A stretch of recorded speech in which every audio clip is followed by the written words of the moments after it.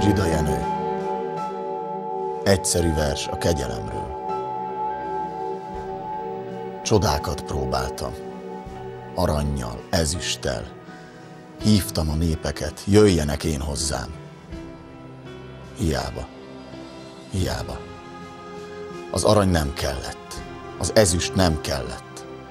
Nem jöttek én hozzám.